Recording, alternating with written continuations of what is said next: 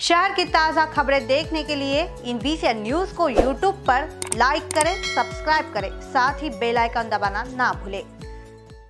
नमस्कार स्वागत है आपका इन एनबीसीएन प्राइम टाइम की इस खास की पेशकश में। और मैं हूँ रत्नाकर और मेरे साथ में इमरान। इमरान फिर से प्राइम टाइम की पेशकश में स्वागत है आपका। जी हाँ पूरे दर्शकों का स्वागत है। क्राइम टाइम की अपडेट लेके हम प्राइम टाइम में आ रहे हैं।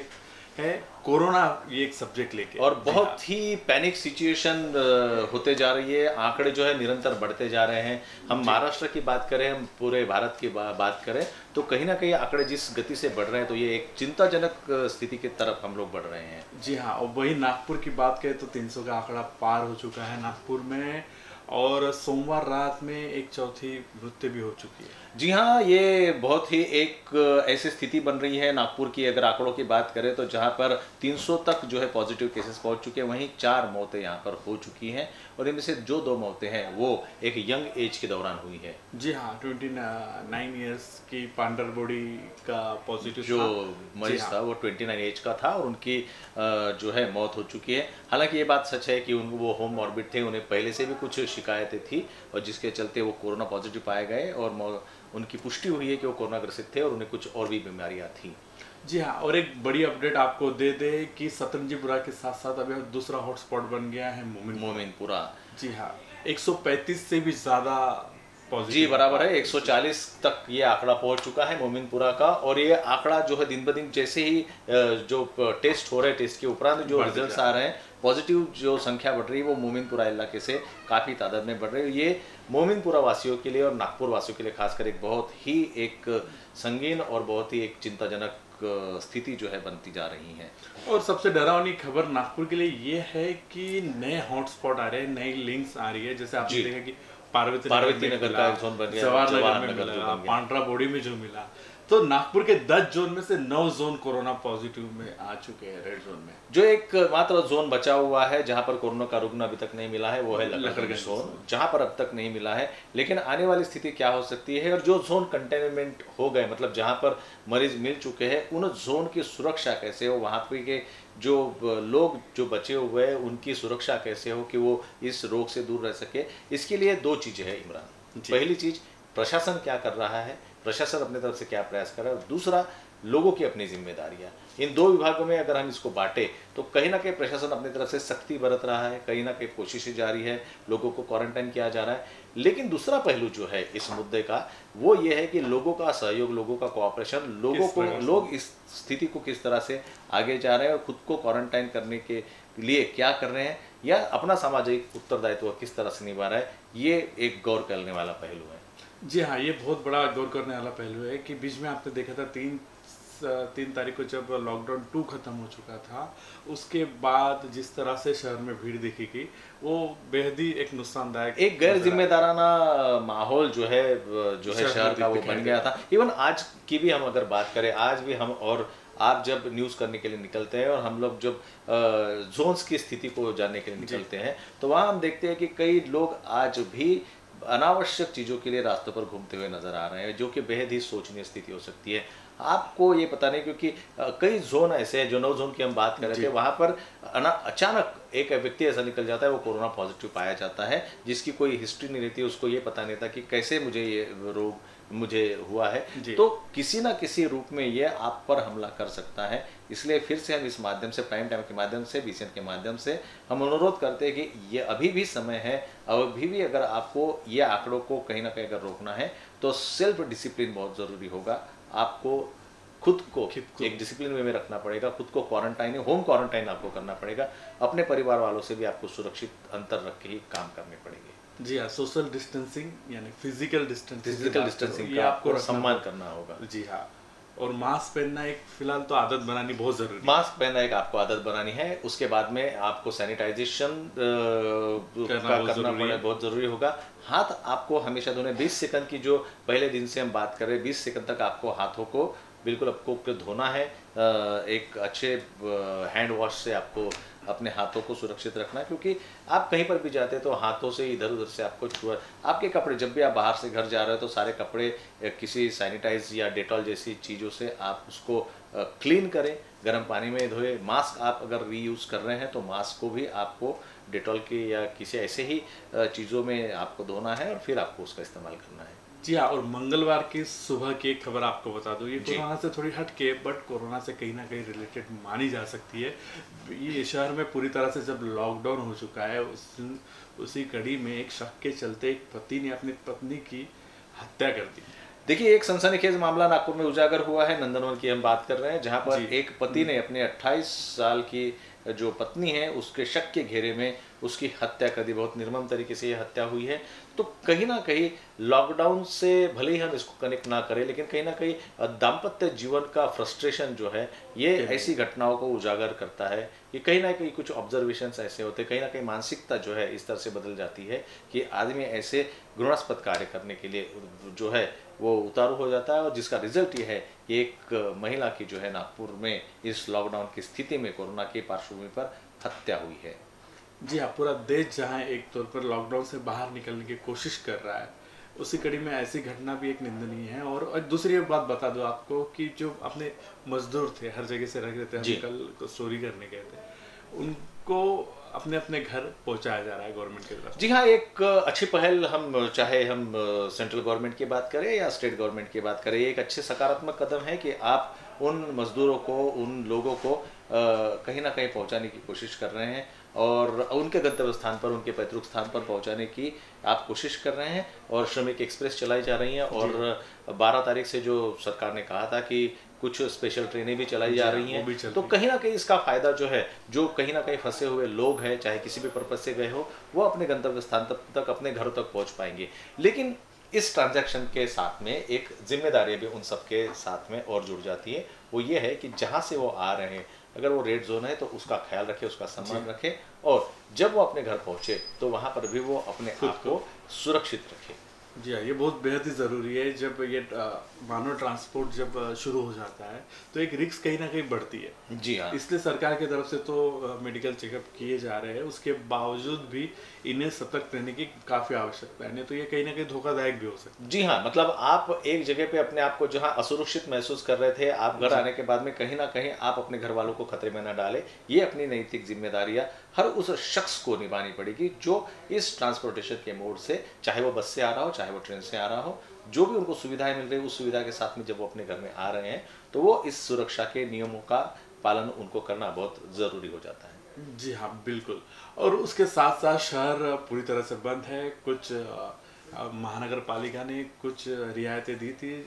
स्टेशनरी की दुकान बोलो या फिर होजरी की, कपड़ों की जो या फिर आउटर इंडस्ट्रीज़ कुछ शुरू की गई थी। उसके बाद अपने अपने देखा कि कुछ कामगारों को उन्होंने होम कंस्ट्रक्शन करना है तो कुछ सशर्त शुरू भी किया था। जी। मगर कल एक साम एक मामला सामने आया था हमारे सामने भांडे प्लॉट चौक स्थित जी। विशाल मार्ट का शायद आप जी। सर आप भी जी जी हाँ वो मैं हम मैं मैं खुद उस चीज़ का भुक्त भोगी हूँ उस मार्ट की मैं अगर बात करूँगा तो वहाँ पर लोगों को कॉल किया जा रहे हैं कि हम आपको ऐसी ऐसी सुविधाएँ देंगे आपको इस रेट में ये सारी चीज़ें मिलेगी आप, आप आपको होम डिलीवरी देंगे। मॉल में जाने के बाद में हमने देखा उसके फुटेज भी हम दर्शकों को ज़रूर दिखाएँगे। वहाँ पर ऐसा हुआ कि जो मेरे साथ में जो ग्राहक थे उन्होंने कहा कि हमें इस इस चीज़ का ये दाम बताया गया था लेकिन यहाँ आने के बाद में दाम जो है हमें अलग बताया जा रहा है जो कि बढ़ा हुआ बताया जा रहा है और यहाँ पर उसकी कोई सुनवाई नहीं हो रही। ये पहली चीज़। मेरे साथ में ये हादसा हुआ कि जो चीज़ मैं खरीदने गया था, मैंने उस चीज़ को खरीदा, वो जब हम बिलिंग काउंटर पे गए, बिलिंग काउंटर पर आने के बाद में मुझे तो पहले तो उसका बार कोड नहीं होने से काफ़ी समय इंतज़ार करना पड़ा। फिर मुझे कहा गया कि आपको खुद जाना पड़ेगा, ऊपर के फ्लोर पे फिर आपको इसको चेंज करके लाना पड़ेगा। पूरा मॉल उस वक्त खाली था। कई उनके कर्मचारीगण वहाँ पर मौजूद थे।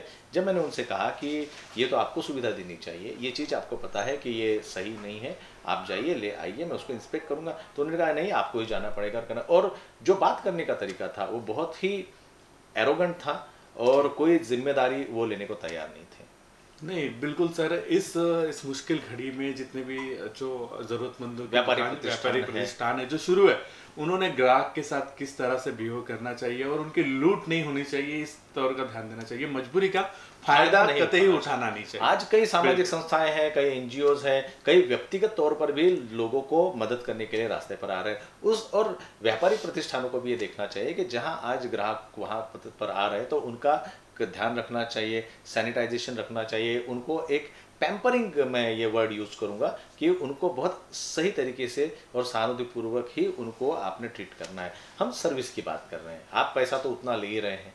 ठीक है? पैसे की हम बात नहीं करते, लेकिन जहाँ हम चाहते हैं कि एक अच्छी सुविधा और अच्छी सेवा हमें ऐसे प्रतिष्ठानों से मिले, एक अच्छा ब्रांड है तो कहीं ना कहीं इससे जो है मन खट्टा हो जाता है, इमरान।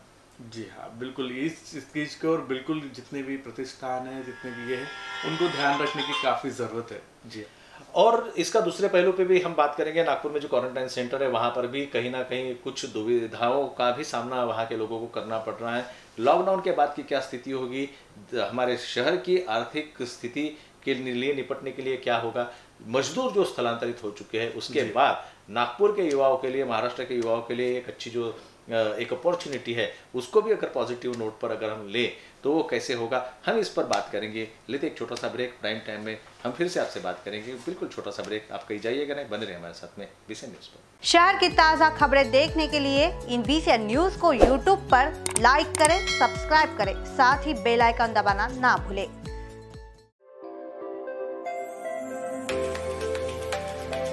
चौबीस घंटे न्यूज़ देखने के लिए डाउनलोड करें हमारा ऐप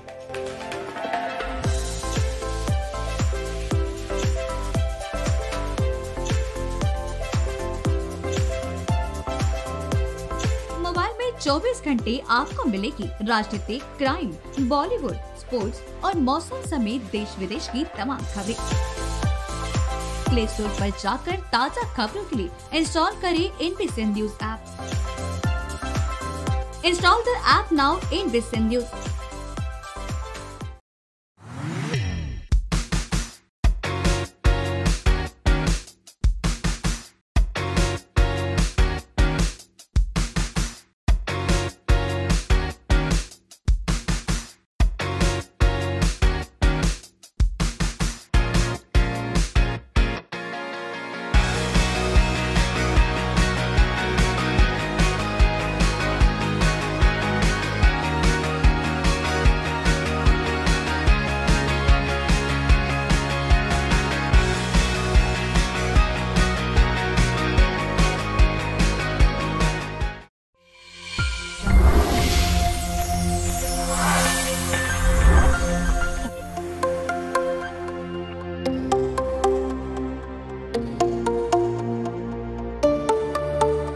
शहर की ताज़ा खबरें देखने के लिए इन बीसीएन न्यूज़ को यूट्यूब पर लाइक करें सब्सक्राइब करें साथ ही बेल आइकन दबाना ना भूलें। प्राइम टाइम में ब्रेक के बाद फिर से दर्शकों का स्वागत है। जी हाँ हम बात कर रहे थे जहाँ पर आंकड़े निरंतर बढ़ रहे हैं क्वारंटाइन सेंटर्स की। हम मुश्किलों की बात कर रहे थे कि वहाँ पे कुछ ऐसी व्यवस्थाएँ जो है प्रशासन ने हालाँकि काफ़ी कोशिश की है इसको सुधारने की लेकिन कुछ जो चीज़ें हैं वहाँ पर जो प्रिकॉशंस की हम अगर बात करो प्रिकॉशंस वहाँ पर उस उचित तरीके से नहीं किया जा रहा है जिस तरीके से होना चाहिए। हम लोगों ने लोगों को प्रशासन ने क्वारंटाइन इसलिए किया गया है कि एक सोशल डिस्टेंसिंग एक फ़िज़िकल डिस्टेंसिंग और कुछ प्रिकॉशंस लेने चाहिए लेकिन वो नहीं हो पा रहा इमरान। जी हाँ बिल्कुल। आ, एक संडे के दिन में आप देखा दोपहर में कुछ वीडियो वायरल हुए थे। जी। हमने बीसी न्यूज़ के माध्यम से वो वीडियोस दिखाए थे। ये है वीडियो जो आप शायद मेरे साइट की स्क्रीन में देख रहे हो। ये एम हॉस्टल के वीडियो है। ये पूरे क्वारंटाइन जो लोग हैं पूरे बाहर निकल आए हैं इनको समय पर खाना नहीं मिल रहा था इस वजह से ये एक प्रताड़ित होके बाहर निकल के ये खाने की मांग कर रहे हैं। कहीं ना कहीं जो टाइम टेबल है न्यूज़ में भी चले थे कि कहीं ना कहीं खाने का जो टाइम टेबल है वो मिसमैच हो गया था। ये जो लोग वहाँ पर है आ, हमारी भी कुछ लोगों से बात हुई है तो उन्होंने भी जो कहीं है जो वीडियो हमारे दर्शकों को इस वक्त दिख रहा है वो इस वक्त एम हॉस्टल का है जहाँ पर खाने के समय जो टाइम टेबल को नहीं फॉलो किया गया इस वजह से परेशान होकर इन लोगों को बाहर निकलना पड़ेगा पड़ा। उसके बाद में पुलिस प्रशासन को हस्तक्षेप करना पड़ा। उसके हस्तक्षेप के बाद जो है कहीं ना कहीं स्थिति को नियंत्रण में लाया गया। लेकिन ऐसा होना नहीं चाहिए। आज इतने दिन हो गए हैं पचास दिन से ज़्यादा हो गए कि लोगों को क्वारंटाइन का ये सिलसिला जो लोग ठीक हो रहे हैं उनको घर भेजा जा रहा है नए लोग उसमें ऐड हो रहे हैं। तो प्रशासन को भी इस तरफ़ ध्यान देना चाहिए कि वो इक्विप्ड रहें। बात ये कही गई कि ठेकेदार जो जो था जो सप्लायर था वो सप्लायर के रेट में मिसमैच होने की वजह से नया जो ठेकेदार है खाना बनाने वाला उनको चेंज किया गया। तो इस चेंजिंग फॉर्मेशन में कहीं ना कहीं वो जो है बदलाव हुआ और बदलाव के चलते जो है तकलीफ़ लोगों को हुई। कई कंप्लेंट ये भी आई कि खाने की क्वालिटी भी जो है वो ठीक तरह से लो क्वालिटी थी जिसके वजह जहाँ हम क्वारंटाइन किए गए लोगों के सेहत की हम अगर बात करें तो सेहत के साथ में कोई खिलवाड़ नहीं होना चाहिए। इसके तरफ़ भी प्रशासन ने ध्यान देना चाहिए। जी आज जब खाने का टाइम जब हमें कॉल आते थे वहाँ से क्वारंटाइन सेंटर से कई मैसेज आते थे हमारे सोशल मीडिया में जी। तो उसमें बताया जा रहा था कि उनको जो ब्रेकफास्ट जो है वो 11 बजे मिलता है। ग्यारह बजे साढ़े दस ग्यारह बजे उनको ब्रेकफास्ट मिला और उसके तुरंत बाद खाना भी उनके पास में आ गया। तो ये ये कैसे चलेगा? इससे तो कहीं ना कहीं खिलवाड़ हो ही रहा है। खिलवाड़ कहीं या कहीं ना कहीं प्रशासन शेड्यूल खाने का एक। बिगड़ रहा है। जी बिगड़ रहा है। बात करते करते ये भी उजागर हुआ कि जो बात हुई उसमें लोगों ने कहा कि हम अपने घर पर अगर रहे तो हमारे घर पर हम लोग, हमारी खुद ज़्यादा केयर कर सकते हैं, हम गर्म पानी से गार्गलिंग करेंगे, गर्म चाय पियेंगे, अदरक वाले चाय पियेंगे, ताकि हम अपने आप को सुरक्षित रख सकें, क्योंकि हमको भी खुद जिम्मेदारियों का एहसास है। लेकिन यहाँ पर हमें जो चाय मिल रही है, वो ठंडी चाय मिल रही है, और पानी जो है, वही ठंडा पानी मिल रहा है।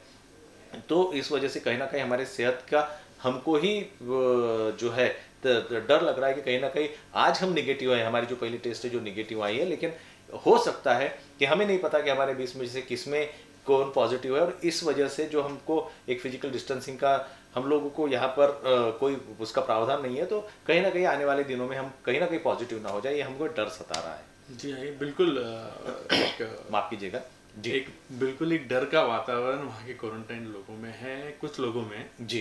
बिल्कुल। कहीं ना कहीं प्रशासन का भी इस ओर थोड़ा सा ध्यान आकर्षित करने की हमारी एक छोटी सी पहल जी हाँ। ये अ, ऐसा नहीं है कि हम क्रिटिसाइज प्रशासन के ऊपर ऊपर में पहले ही बहुत सारी जिम्मेदारियाँ हैं। जिम्मेदारियाँ। कहीं ना कहीं लेकिन लोगों के इस समस्या की तरफ़ ध्यान देने का भी प्रयास ज़रूर होना चाहिए। बस यही उद्देश्य हमारा है इन वीडियो को दिखाने के पीछे। जी हाँ। ये थी अभी इसकी बात। देश की बात करूँ तो देश में सत्तर हज़ार के ऊपर आंकड़ा बढ़ चुका है। और बहुत बहुत स्पीडली पीछे पीछे पिछले 24 घंटों में 4,212 लोग पॉजिटिव पाए गए तो ये इस तादाद में संख्याओं का बढ़ना बहुत ही खतरनाक साबित हो सकता है इमरान जी हाँ कहीं ना कहीं इसको रोकने के लिए कई अलग अलग सरकारें कुछ ना कुछ अपने सुझाव दे रही है जैसे बिहार सरकार ने बोला नीतीश कुमार ने कि बिल्कुल ये जो रेलवे से आवाजन जो हो रहा है वो कहीं ना कहीं धोखादायक हो सकता है। जी हाँ और एक बात तो ये भी नहीं कि जैसे एक ट्रेन में श्रमिक एक्सप्रेस जो चली थी उसमें ये कहा था कि 1200 के ऊपर में लोग नहीं जाएँगे लेकिन अभी जो लेटेस्ट इन्फॉर्मेशन है उसके तहत ये कहा जा रहा है कि अब जो है पूरे फुल फ्लेज में जो गाड़ी के फुल फुल कैपेसिटी के साथ में वो चलेगी। तो कहीं ना कहीं इस पर जो है सोशल डिस्टेंसिंग और इस रोक रोकना ये किस तरह से हो पाएगा ये सोचने वाली बात है। श्रमिक एक्सप्रेस का भी मेरा मेरा आँखों देखा हाल मैं आपको बता दूँ कि रेलवे क्रॉसिंग पर जब मैंने देखा कि एक श्रमिक एक्सप्रेस जा रही थी इसमें उस बोगीज में लोग बिल्कुल बिंदास्त होकर दो दो लोग चिपक कर आपस में वो दरवाजे पर बैठे थे। जी। तो कहाँ इस सोशल डिस्टेंसिंग का पालन वो उन ट्रेनों में हो चुका है हो रहा है? जी हाँ, और सरकारी स्थानों की बात करूँ तो मैं आना चाहूँगा सुपर स्पेशलिटी हॉस्पिटल में। जी। जी हाँ, मैं आपको कुछ सुपर स्पेशलिटी हॉस्पिटल के कुछ विजुअल दिखाना चाहूँगा।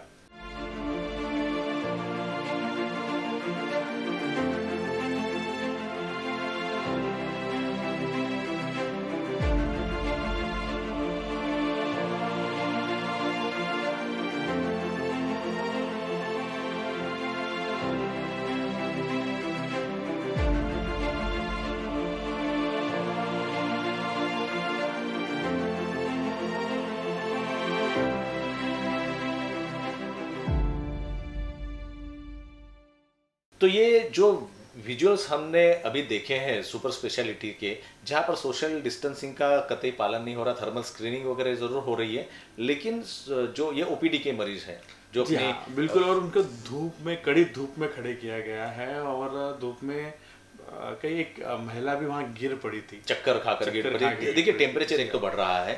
एक तो टेम्परेचर बढ़ रहा है और हा- हालत मरीजों की वैसे ही ठीक नहीं रहती। किसको क्या बीमारी हो इसका कोई अंदाज़ा नहीं अंदाज़ा है। नहीं और यहाँ ऐसे सोशल डिस्टेंसिंग का भी एक उल्लंघन हो रहा था जी तो ये कहीं ना कहीं जो आंकड़े की हम बात करें तो आंकड़े भी बढ़ेंगे। प्लस कोरोना के चलते बाकी सारी बीमारियों का भी अपना एक जो है वो तो चलता ही आ रहा है वो प्रॉब्लम जो इश्यूज़ है वो चलता ही आ रहा है। तो कहीं ना कहीं जो है सोशल डिस्टेंसिंग को रख के हम इन बीमारियों को भी काबू लेकिन मेडिकल की हम बात करें। जैसे सुपर स्पेशलिटी की हमने भी वहाँ पर अगर जहाँ पर आ, हम अपने आप को ठीक कराने के लिए जा रहे हैं वहीं पर अगर ये स्थिति होगी तो हम अपने जो स्वास्थ्य की कामना कैसे कर सकते हैं अच्छे स्वास्थ्य की हम क्या गुंजाइश कर सकते हैं? जी हाँ बिल्कुल बहुत एक जोखिम भरा हादसा हो सकता है अगर इस तरह से अगर सोशल डिस्टेंसिंग का पालन ना तो कहीं ना कहीं ये लोग ह्यूमन बॉम्ब्स बन बनने कन्वर्ट होने में समय नहीं लगेगा इसलिए इस ओर भी ध्यान देना बहुत ज़रूरी है। ये तो हो गए हम प्रशासन से गुजारिश कर रहे लेकिन आम जनता से भी तो इसकी गुजारिश करनी पड़ेगी कि प्रशासन कहाँ कहाँ ध्यान देगा। हमने भी खुद सोशल डिस्टेंसिंग का पालन करना है फ़िज़िकल डिस्टेंसिंग का पालन ऐसी जगह पर करना बहुत ज़रूरी हो जाता है। जी हाँ बेहद ज़रूरी है। हम बी के माध्यम से बार बार कह रहे हैं कि आप घर पे ही रहे, बिना वजह घर से बाहर ना निकले सोशल डिस्टेंसिंग का पूरी तरह से, पूरे पूर पालन करा करें कीजिए, तभी हम कोरोना को हरा सकते हैं। लॉकडाउन का एक इशू है इमरान। लॉकडाउन बढ़ेगा, चालू रहेगा। पूरे प्राइम मिनिस्टर जी भी देश को संबोधित करने जा रहे हैं, करने करेंगे। वो भी स्थिति जो है, इस वक्त जाकर जब हम बात करें तो उस वक्त हम इंतज़ार कर रहे हैं कि प्राइम मिनिस्टर क्या कहेंगे। प्रोग्राम के बाद में पता भी चलेगा वो भी हम दर्शकों तक ज़रूर पहुंचाते रहेंगे। स्थिति को कंट्रोल में लाना इस वक्त बहुत ज़रूरी है और इसके लिए सभी का योगदान पूरे देशवासियों का योगदान सभी का इंडिविजुअल योगदान बहुत ही अहम हो जाता है। ये स्थिति ऐसी बन पड़ रही है। तो इस तरह से जो है जो स्थिति जो है ये बहुत कठिन होते जा रही है। जी हाँ बिल्कुल। देश की स्थिति और नागपुर की स्थिति आपको बता दो कि 300 पार कर चुका है आंकड़ा। ये भी एक बहुत ही सोचनीय स्थिति है। तीन सौ तेरह शतक जो है नागपुर ने पार कर चुके हैं और चार मौतें यहाँ पर कोरोना पॉजिटिव मरीजों की हुई है। और अभी भी हमें वक्त है कि हम संभल जाए और हम कोशिश करें कि हम अपने आप को जो है यहाँ से ये स्थिति से दूर रखें कोरोना पॉजिटिव से हम लोगों को दूर रहना है और सेल्फ क्वारंटाइन जो है यही इस वक्त सबसे अहम मुद्दा है। और होम हमें अपने घर में भी अपने सभी पूरे परिवार का ध्यान रखना है और इन आंकड़ों को रोकने में सहायता करनी है। जी हाँ। दर्शकों से लेंगे हम फ़िलहाल विदा और सबको कहेंगे घर में रहे और सुरक्षित रहे। बिल्कुल आप अपना ध्यान रखें घर में रहे स्वस्थ रहे। हम बीसीएन के माध्यम से ताज़ा जानकारी आपसे आपको अवगत कराते रहेंगे। लेकिन इस वक्त हमारी और आपकी सबसे बड़ी प्रायोरिटी है कि हम इस प्रादुर्भाव को कोरोना नामक कोविड 19 को बढ़ने से ज़रूर रोके और ध्यान रखे अपना खुद का और समाज का, देश का और हमारे शहर का। बने रहे हमारे साथ मेन न्यूज़ पर।